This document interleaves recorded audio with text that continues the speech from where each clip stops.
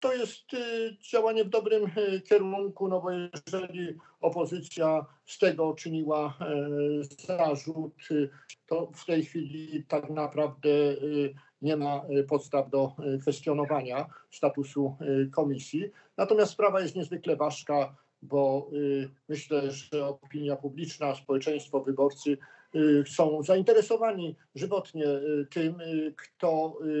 podejmował decyzje zgodne z oczekiwaniami Putina, z oczekiwaniami e, Moskwy, e, kto doprowadził do podpisania niekorzystnego dla Polski kontraktu e, gazowego,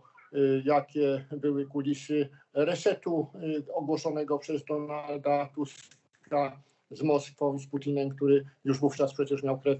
na rynkach. I myślę, że tymi sprawami komisja się niebawem zajmie bo podpis prezydenta oznacza, że y,